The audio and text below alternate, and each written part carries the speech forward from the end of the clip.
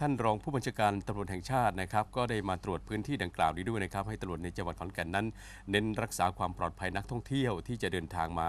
อ่าเที่ยวสงกรานต์ถนนข้าวเหนียวพร้อมกำชับให้ตำรวจทั่วประเทศเนี่ยให้คุมเข้มการแต่งกายเล่นน้ำสงกรานต์ด้วย ไม่แต่งตัวโป๊อ่านะคะอย่างนั้นนะครับโดยท่านพลตำรวจเอกเฉลิมเกียรติศรีวรขานรองผู้บัญชาการตำรวจแห่งชาติ เดินทางมาตรวจเยี่ยมเจ้าหน้าที่ตำรวจทหารและฝ่ายปกครอง ที่บริเวณถนนสีจานทร์เขตเทศบาลนครขอนแก่น ซึ่งเป็นสถานที่ใช้ในการจัดงานสุดยอดสงกรานต์อีสานถนนข้าวเหนียว พร้อมตรวจเยี่ยมและให้กำลังใจเจ้าหน้าที่ที่ปฏิบัติงาน รักษาความปลอดภัยในงาน ก็พบว่ามีการรักษาความปลอดภัย สุดยอดสงกรานต์อีสานถนนข้าวเหนียวนะคะก็มีการตั้งกล้องวงจรปิดมากกว่า 20 ตัวอืมมีการจัดกำลังเจ้าหน้าที่ 3 ฝ่าย มีทั้งตำรวจทหาร เจ้าหน้าที่ฝ่ายปกครองกว่า 600 นาย ในการจัดงานตลอด 4 วันนะคะครับท่านรองผู้บัญชาการตำรวจแห่งชาตินะครับ ก็ได้มีการกำชับให้คุมเข้มรักษาความปลอดภัยนักท่องเที่ยว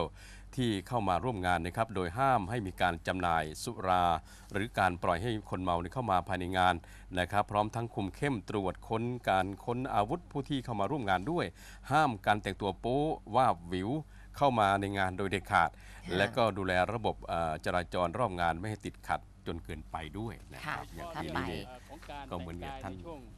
เล่น น้ำสงการนี้ขอให้แต่งกายสุภาพนะครับ เพราะทางท่านนายกมนตรี